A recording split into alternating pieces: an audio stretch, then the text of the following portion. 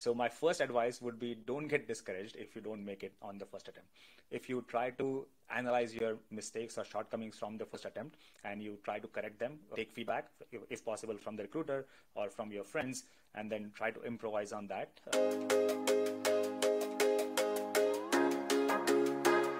Hey, my name is Felix Thea. I'm the host of the Culture of Code, where we bring on experienced software engineers, engineering managers, product managers, designers, anyone that works in tech talk about their tech career and what has worked and what hasn't worked for them to get to where they are today. In this episode, I am joined by Vineet Joglekar, engineering manager at Google. Prior to Google, he worked at Bloomberg and Amazon. In Amazon, he managed teams that built and supported tools for creators to create live streams and enhance Amazon Live's homepage. Welcome, Vineet. Thank you, Felix. How are you? Yeah, I'm doing great. I'm glad that, to have you on here. So, you had a wonderful career starting with lots of different things you're doing, but I want to spe- speak specifically to your kind of your first long stretch of a time at Bloomberg, where you're there for 10 years. Mm-hmm. And you mentioned to us that around eight year mark, you eventually transitioned from, I guess, an IC to more of like a team lead role. Can you tell us more about that that transition? Like, what changes when you step into a, a team lead or a kind of a tech lead, some kind of a lead role from a, like a technical perspective? Sure. So team lead is more like an entry level manager. However, at Bloomberg, they're also expected to be very hands on. So probably a little less hands on than the senior engineer would be, but still pretty much uh, in touch with actual coding part, design part, making sure that the system architecture is, is proper, etc. And in addition to that, managerial responsibilities such as making sure that the team is well taken care of or stakeholder management also a little bit visionary stuff about the roadmap what needs to be built and whatever we have is that in line with the broader organization goal etc so i would say management stuff but also very technical close to what the senior engineers are expected to do anyways yeah, how would you say that your role changes in regards to, let's say someone is really interested in just kind of hands-on keyboard, they enjoy coding. It sounds like a team leader, tech lead role will start to kind of eat into that a bit, where now you have new responsibilities, which might mean that you don't have as much time to to write code. Is that the case, or like do you find that you still find room for that? How much time you still get to spend on coding, if that's like your passion? Yeah, so it might depend on the team size. So if you have a small team, let's say four or five engineers, then you can find time to uh, do hands-on coding as well. But if you if you're owning a larger team or if you're owning multiple initiatives and even if you don't have multiple managers reporting to you, your team is divided in a way that there are multiple different priorities or multiple different charters are being handled under your ownership, then I would say the hands-on part would get a little less because as a team lead, your primary responsibility is management. And then who is also expected to be like well versed in system design and coding etc but coding is not the primary responsibility because you need to make sure that you are the force multiplier right? Like you are not the only one delivering everything. So how do you make sure that you do that effectively? By empowering your team by handling and managing uh, uh, and working effectively with your stakeholders and cross team collaboration. So if you want to do that effectively you would obviously will have to spend a little less time on coding unless you want to burn yourself out which i would not recommend so now, now that you see you're in a kind of a full blown like engineering management uh, role at Google and also your experience at, at, Amazon as well, what about that kind of step from like tech lead, team lead to engineering manager? Like how much does your responsibility shift once you transition to that role? Yeah, that's a great question. It's actually a quite natural transition. It's more about the, the tech lead or team lead at Bloomberg being the entry level manager. So they won't expect you to have a vision for, let's say, five year vision for the org or how how your charter, uh, whatever you're working on, that fits into the organizational perspective, etc. Or in other words, it is like level difference. So an L5 level manager at let's say Amazon or Google versus L6 level manager at Amazon Google. It is that kind of separation.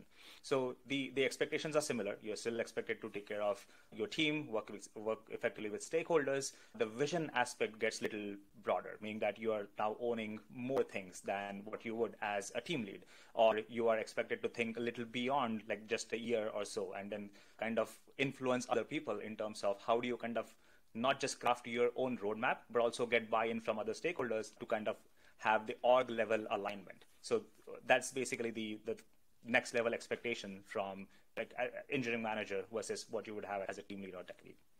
Yeah, so it sounds like a team lead is almost like a great kind of transition or almost like a dip your toes in the water to see if you want to get into management, like, like full blown management like you're doing now.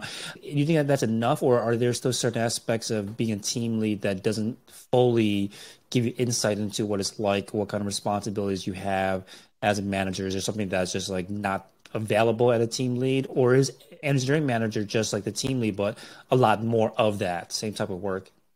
Yeah, that may vary from company to company, but at least the experience I've had at Bloomberg or even at Amazon and uh, Google, where the equivalent of team lead or tech lead would be the L5 level manager. So usually ICs who are at L5 level, if they want to transition into management, that is what they do. They transition as L5 level manager, which is very similar to what I explained from a team lead at Bloomberg. So you're absolutely right. This is the way if they want to get uh, a hang of uh, how management looks like and whether they are interested in that. You can do that while being an IC as well, up to a certain limit, meaning that working with stakeholders or contributing to roadmap, etc. What you may not have access to is the actual team management, meaning the performance evaluation of your reports, because you may not have direct reports at that time. And then for confidentiality and other legal reasons, like you may not be able to see their past performance. You can still have an influence in terms of feedback for their future performance reviews, but uh, that is the separation I would say between formally transitioning into the management or uh, team lead role versus being an IC and still kind of get the flavor or get an idea of what is what would be expected from you when you become a team lead.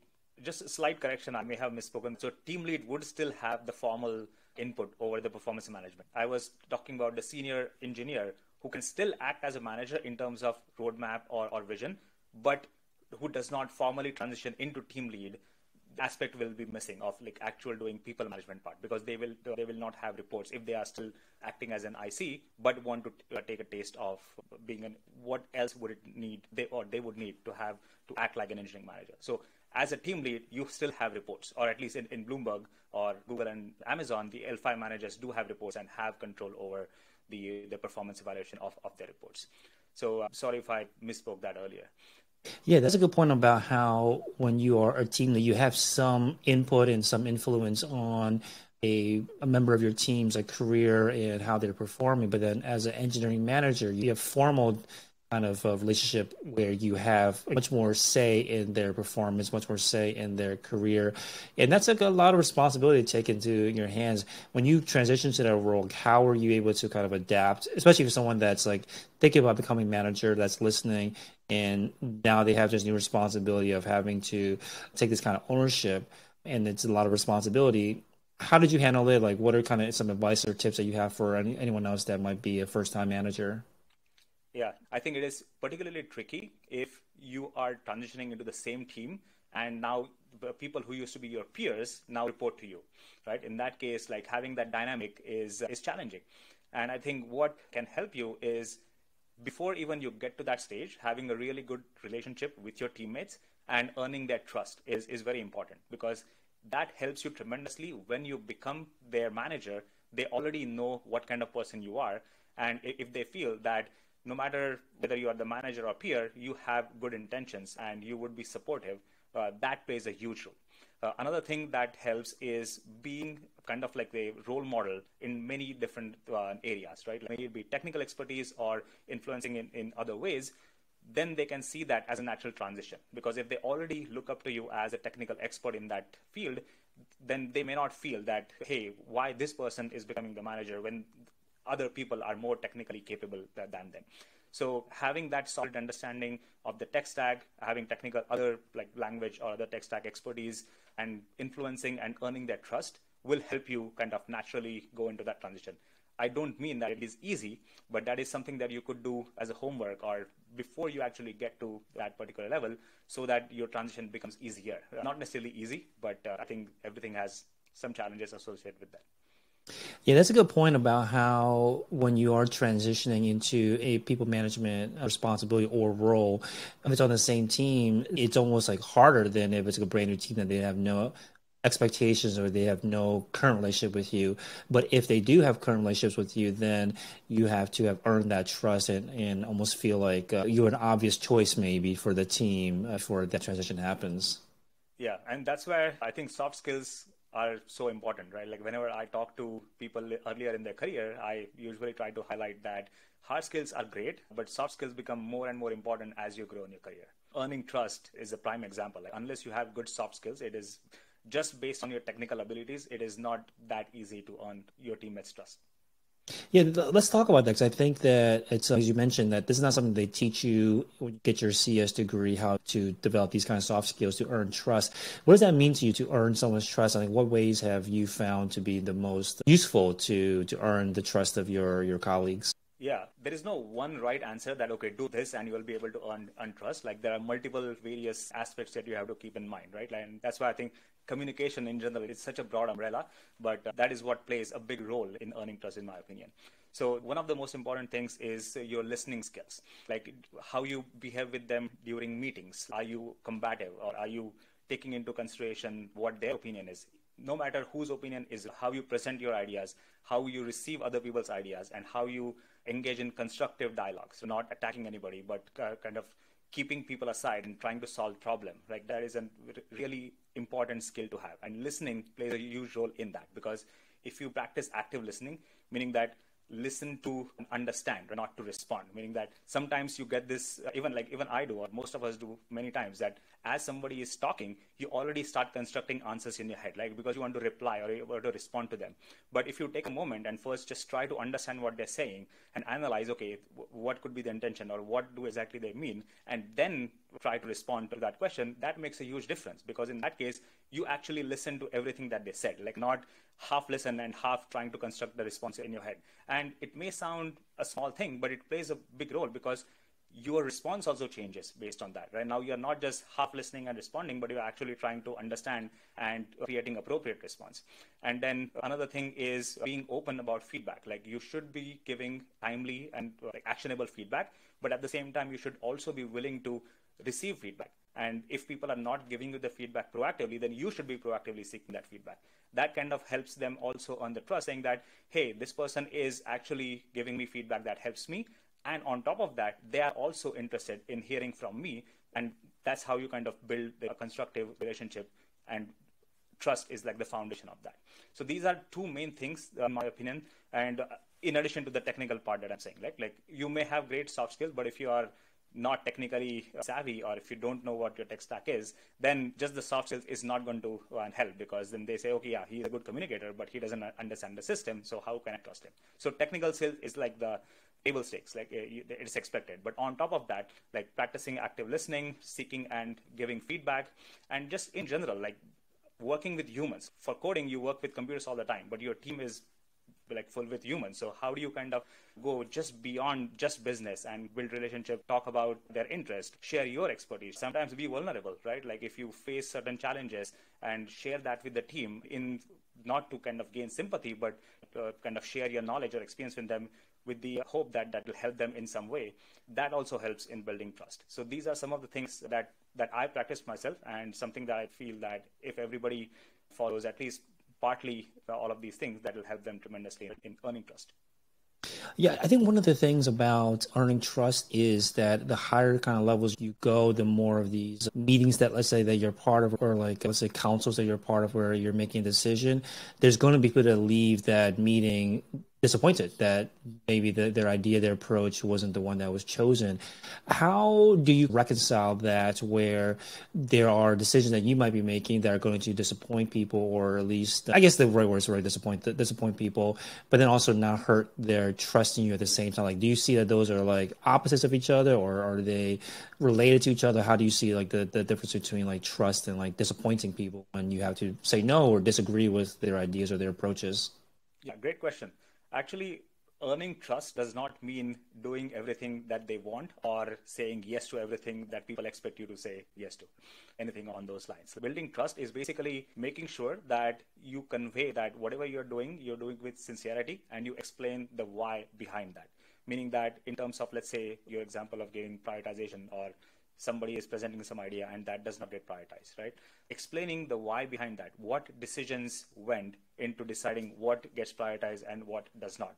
and backing that up with data or whatever reasons you may have, right? It also happens in promotion, right? Like you have good relation with your teammates doesn't always mean you get to promote everybody every single cycle, right? So understanding basically their motivations and then explaining that how you have tried everything you could, but these are the gaps that you observe and unless they work on that it would be very difficult to kind of make that case for promotion. So explaining what is the, the, gap is and also explaining how you are supporting them in kind of bridge that gap once they see that that okay i understand what the gap is and also i see that my manager is trying to create opportunities that will help me fill that gap. That will help uh, them overcome that kind of block that hey i trust this person but they are not uh, helping with the promotion. Like that kind of feeling won't happen and uh, both these things are examples, but there could be other situations where there are two developers on your team and they cannot come to an agreement. And if you pick side of one person, then other person may feel that, okay, like, is this favoritism or something like that? But uh, what I said in my first answer about like explaining the why behind that, or rather than giving your input, or saying that this is what we are doing, framing that in a way that you are asking questions and then somehow leading them to kind of that consensus could be one strategy to kind of earn their trust. So that you are not saying that, oh, this should be done, but you are kind of questioning them to come to that answer so that they themselves may feel that, okay, like, okay, this, given the uh, circumstances, given the constraints, this seems like the right decision. Because every experienced person engineer would know that okay there are always trade-offs right? Like there is no one system that will handle everything. So similarly over here like you're talking about trade-offs like okay why this decision makes sense right now and what needs to be uh, deprioritized. So overall these approaches i would say help in kind of maintaining that trust even though you are kind of either saying no to their promotion or kind of not prioritizing uh, their ideas. It makes me feel like it's very similar to your earlier point about active listening, where rather than making a decision about what you want to say already and then just waiting for your turn, similarly, where you aren't actively just making a decision and then kind of top down telling them what to do, you are going through this like journey with them to arrive at a conclusion, which might change your original I guess, preconceived conclusion by you going through this exercise as well. Do you find that it happens, or do you usually find that what you believe usually ends up being the right approach after you go through this journey with them, where you you know ask a series of questions to get them to arrive at a conclusion? No, you said it perfectly well, right? It's not always like just because you are the manager doesn't mean you're always going to be right. Everybody's a human. Like we all tend to make mistakes. But as you said, if you are with them on this journey and if you are practicing this active listening or being sincere about exploring options, then you can correct yourself and you can also change the course. And uh, if you do that, that is also another uh, good thing that you brought up that will help uh, earn trust, right? Because then they will see that it's not just you are telling them what to do, but you are also like with them on this journey and you are willing to change your mind and value their opinion more than your original beliefs. Yeah, and one thing you said too was about how feedback is super important, being able to give timely feedback, but then also to be open to feedback. Have you ever been in an environment where feedback doesn't feel safe to give or to ask for? And if so, like, why do you think that this happens? How do you remedy that, eh, that kind of environment? Yeah, I mean, ideally, it should not happen. It has not happened with me yet. And I was always able to speak my mind and uh, also it, it might depend on how you phrase it right? Like if you are giving feedback to somebody and if you're being a jerk about it then obviously like the other person is also human. So even if they don't want to they might kind of hold that against you to a certain limit maybe not to, to a large extent. So i think how you phrase that would probably make a big difference. This totally depends on the organization culture right? Like if they're only saying that hey this is a safe space say whatever you want but then they're, they're doing things which don't really align with that then your sincerity is not going to make much difference because they would know that okay my manager is being sincere but overall this is not the organizational culture so that's not going to work. So i would say uh, i'm fortunate to have worked at companies where it was actually possible to give honest feedback. But in that i would still say play safe and frame it in a way that you are talking about the problem and not a person right? Because if you say that hey you didn't do this then naturally that human is going to feel attacked to a certain level and then their response would be slightly different. But if you focus on problem and explain the impact on why this was not the right decision or why it affected you negatively, uh, uh that lands much better than directly like saying something to the person. And then after Bloomberg, you went to Shopbop, which was a subsidiary of Amazon, then also spent some time over at Amazon. What was that experience like? I think uh, working at a subsidiary and then eventually transitioning to a parent company. Did you find that that was like a very smooth transition or what was that like? It was a very smooth transition because Shopbop, even though it's a subsidiary, like everything is Amazon, meaning that their leadership principles are followed, internal tech stack and all the processes, everything is Amazon. So that way it was not much difference. I think what was different was mainly the prioritization process because Shopbop operates independently. They have their own buying and planning and marketing and accounting departments. So their prioritization is much more kind of local to Shopbop only. Like there are fewer dependencies on Amazon. Of course, infrastructure wise, because we use Amazon, there would be dependencies on that. But still, it was kind of local to Shopbop itself. When you go to Amazon, depending on again which team you are in, that might change. But it, it's still sometimes like still within the same organization or something. Early, you would feel that oh, you have to communicate with 15 different teams unless you are in like a super core infrastructure team that 15 other team, teams depend on, etc. But uh, yeah, fortunately, the transition was very smooth. Even the location was the same, so that was not much different for me. And during this time too, you mentioned to us about how preparing to get into Google and the whole Google interview process has always been notoriously known as a very tough process or a very selective process. Um, any tips here on how folks that are interested in applying to Google, how to prepare for, and specific, specifically what worked out for you? Yeah, first of all, it did not work out for me in my first attempt. So I actually cleared my interview in my second attempt. I also have a YouTube channel and I've uploaded a video on that on my journey to Google. So if anybody's interested, they can take a look at it. So my first advice would be don't get discouraged if you don't make it on the first attempt. If you try to analyze your mistakes or shortcomings from the first attempt and you try to correct them, take feedback if possible from the recruiter or from your friends, and then try to improvise on that, you may succeed on the second chance. And uh, fortunately, Google gives at least I would say three chances. Like there's no official policy, I guess, or at least that I know of, but I, I know people who made it on their third attempt. So it's possible. So don't lose hope. Give your best and, and prepare hard. Now, coming to that preparation part, at least for software developers, they focus very heavily on data structures and algorithms. And then depending on level, system design may also come into picture. So uh, having good understanding of fundamentals like system design, data structures and algorithms, and coding practice, not just fundamentals in the theory perspective, but also like hands-on coding uh, wise would be absolute must. On top of that, again, depending on the level, soft skills become very important because you are interviewing for a particular level and then there are certain expectations from that level. So if you give in, in your behavioral interviews, if you give examples of things that are not in line with the expectations from that level, then even though your technical interviews were good, your behavioral interviews, you may not score as much. And then depending on the requirement, they may either down level you or flat out reject you because there is no down level also possible for that particular role. So I would say focus not just on the technical aspects, but also on the behavioral aspects.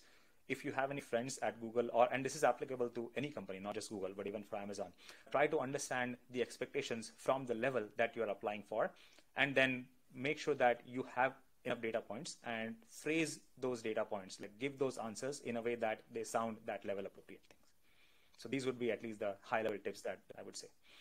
Yeah, and, and, maybe at Google specifically, or just in general, if you are given the opportunity to interview at, let's say, like a level above where you're at, would you recommend always going for that, especially if there's an option to be down leveled if you didn't, let's say, clear the bar for for that higher level, or do you recommend playing it safer and going for interview at a level that's more, I guess, closer to where you're at today? So if you feel confident that even though you are not at the next level in your current company, but you are already doing that job, and for whatever reasons you are not getting promoted, then I would say definitely apply for the next level because in that case, what you talk about is going to be natural, right? You won't have to kind of try to make up answers that kind of align with the next level, etc. And usually recruiters do a pretty good job in having some initial screening with you to kind of understand based on your experience what level might be appropriate for you. So if they feel that you are actually better suitable for L6, but you want to apply for L7, can have a talk with you to understand more on why you want to apply and do you actually have that kind of experience. So I would say take recruiters' suggestions also and be confident in your own abilities on whether you actually already have demonstrated those in your current job. Definitely go for the next level. But uh, yeah, you don't really have to play safe as such, but you don't have want to appear unprepared for the next level as well, right? Because that's probably not gonna uh, create a good impression. So I would say understanding that role expectation and understanding how your experience kind of matches with that should help you decide whether to go for the next level or the same level. Now, I'll talk about your experience between Bloomberg, Amazon, and Google. Bloomberg being one of the oldest, I guess, let's say, tech companies that, that in this set and that probably exists right now. Amazon being a huge company as well, and obviously Google being a huge company too. I'm sure the cultures between these three different companies are very different. Can you talk to us about like what it's like, uh, differences between these three pretty large companies? Yeah.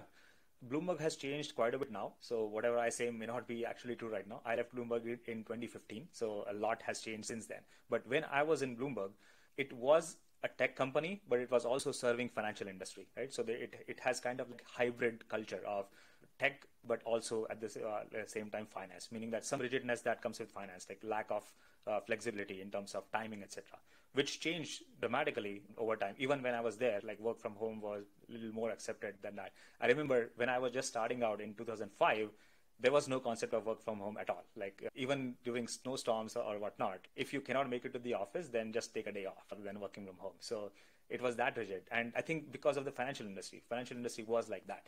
So it, it changed significantly after that. Uh, also, another big difference is Bloomberg has a lot of proprietary technology. They have their own flavor of database and uh, even their own uh, JavaScript based things that they use for UI. So a lot of hardcore like low level stuff which is proprietary. But even now i've seen and from friends i hear uh, significant shift in open source or even using the latest technologies that are out there in the market. So a lot has changed but uh, it was a little less when i was there that is very different compared to either Amazon or Google, right? Like they are like Amazon AWS, obviously, and even in Google, like their search or their cloud platforms are very different from the, the having anything proprietary or there. And uh, in terms of culture-wise or processes-wise, I think also there is difference. Not so much between, I would say, Google and Amazon. There is slight difference in terms of uh, top-down versus bottom-up, meaning that in Amazon, it felt a little more top-down, meaning that directors and above would make decisions on okay what should be the priorities for this year and then you go and execute on that. That doesn't mean that developers don't have say in what needs to be done to let's say reduce tech debt or betterment of the tech stack etc but generally it would weigh more heavily on the top down approach. Whereas in google it is slightly more bottoms up meaning that developers are a lot more empowered to kind of whatever like proposed their different ideas even though they were not originally considered from the top level thing. That doesn't mean that directions don't come from top level. There obviously the directions are decided at high levels but the actual projects or even large initiatives can come from developers. Bloomberg was a lot more top down like product managers would decide understandably like again i'm not like hinting at it, whether this is good or that is good. It is what that company needs and what problem they are solving right? Like they are obviously solving problems for financial clients. So obviously product managers would know more than the developers. But because of the proprietary technology side, that particular organization had a lot of say and it was a lot more bottom up because if you are proposing some changes to the technology, then obviously like, people would be receptive to those ideas. But in terms of percentage wise, I would say it was more top down than bottom. And then in terms of customer, also that was another big difference. Like Bloomberg is B2B, so they don't usually, I mean, you have to be super wealthy to afford a Bloomberg terminal for an individual client, right? But usually hedge funds and investment banks, they are Bloomberg's main clients, buy side, sell side, both sides. Uh, but Amazon, it is more B2C, so you're directly interacting with the customer. The same is with Amazon. So in these two companies, that was a lot different than, than at Bloomberg. I think one uh, important thing you talked about was like the top down versus kind of bottoms up cultures. How did you make that transition, or what kind of advice you have for other people that make that transition where they come from much more of a top down engineering driven culture where the product managers are are in control of the roadmap and lots of what uh, the the engineers work on are things off of the roadmap versus more kind of bottoms up ideas that are let's say uh, like your experience at Google. When you come to a company where you are now not expected but maybe more of the expectation is that a lot of the ideas should come from engineers the the ICs how do you make that transition how do you recommend other people make that transition it's your responsibility to make sure that your employees get the right opportunities and you give them the right feedback and uh, the way these two are tied together is that in the bottoms up culture, like you need to give them feedback that, hey, you can make a difference. Like if you have an idea, then definitely suggest that. Or also work with them on their on understanding role guidelines, which kind of say what is expected from which level, or which also state that what what is needed to get to the next level, and kind of tie that with their own ambitions or own goals. Like if you want to get promoted, this is what is expected from the next level, or if you want to do a good job in your current level, then again this is what is expected. So kind of highlighting what is expected from the role uh, making sure that you also convey how that aligns or is in their best interest to get their buy-in is basically what I have tried and what I've what has worked for me.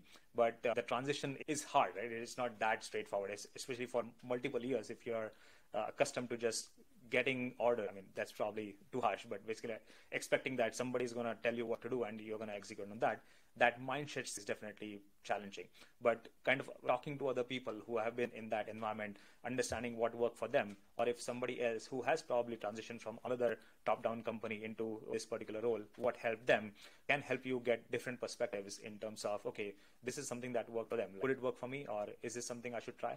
So making sure that you are actively trying to seek feedback, not just on your performance, but like understanding what worked for others and incorporate that in your own experience, making sure that you have open line of communication with your manager about what is expected from your role and are you actually doing that or not. And then as a manager, making sure that you are being very open and honest about what your report should do and then kind of help them sometimes even guide them, especially if they are junior, then they may see what is expected, what is written as what is expected from them, but they may not know what exactly that means or what do they need to do to demonstrate that. So in that case, doing some handholding, giving them examples would be helpful. So these are some of the things that I've tried and worked so far, I guess, and I would I would recommend the same. Yeah, I almost assume if that the or I almost feel like the top down to bottom up transition is harder than the other way around in terms of meeting the expectations. Maybe you feel uncomfortable either way with either transition, but yeah, it sounds like one's much harder than the other. Uh, we, talked about the difference between the big tech companies that you worked at. I'd love to learn more about the maybe misconceptions that you had before joining Bloomberg, Amazon, or Google, and that you recognize were misconceptions once you joined and now are on the inside. Yeah. So for Bloomberg, I think the common misconception was that it's a finance company, right? And that is not true. Its clients are finance related, but it is very, very tech heavy company. So it's not like, okay, uh, tech folks are treated as second class citizens and they don't have a say or anything like that, right? So that was the major misconception that was cleared after joining Bloomberg. Like developers have significant amount of like ownership. They are they're also treated like a first class citizen for Amazon, well, I don't know if it's a misconception, but at least what I did not experience is the uh, notorious burnout culture, right? Like, fortunately, I had very supportive managers, and even in, in ShopBop or in Amazon Live, work will vary, right? Like, yeah, there will be times when you have to spend a lot more time, but people are understanding, like, that it's not always going to be the case. There will be occasional ups and downs. And overall, people did give good support when needed and flexibility was there. So uh, I, I would say like yes amazon gets a bad rep for that but my experience was not like that. Maybe it was localized for some particular orgs within amazon but at least yeah, i would say my time at amazon was really good. Like management and all the stakeholders were very supportive. And uh, with google I think uh, I don't think there's any misconception. I guess right, like that everything is like I'm very thankful to be here, and it's it's pretty good so far. Speaking of your uh, Amazon and burnout, one thing that you like to do outside of work is that you're training for the New York City Triathlon. Tell us more about that experience, especially how do you balance your, your day job with training for something like so extensively. Yeah, so triathlon was a long time back. I did triathlon in 2014 and then in 2017, I did a half marathon. And very recently, on April 23rd, I actually did my first full marathon. So uh, try to be active. But yeah, I mean, the theme is still the same, right? Like how to find time to do such things. I think one thing that helps in this particular case is the other side things that I'm trying are more physical related, right? It involves exercise and that helps you a lot in managing your energy levels. So if you have a sedentary lifestyle then your energy levels are going to go down. So kind of trying something physical actually helps you being more productive at, your work. That is that is one of the reasons i kind of stuck to this. I won't say stuck to this like it's not that i'm doing this every single year but i've tried that. And it also helps indirectly in kind of challenging your own limitations, right? Like the reason I did triathlon because I thought that I would never do anything like that, right? Like I was not an athletic kid, and then I had those limiting beliefs, and then I saw my friends doing it, and then I saw that okay, they also don't look super athletic. They could do it. Like, why couldn't I? And I trained hard for that, and I could do it in in the time that I actually wanted to finish it in. And that changed quite a bit about how I look at myself, right? Or overcoming those limiting beliefs.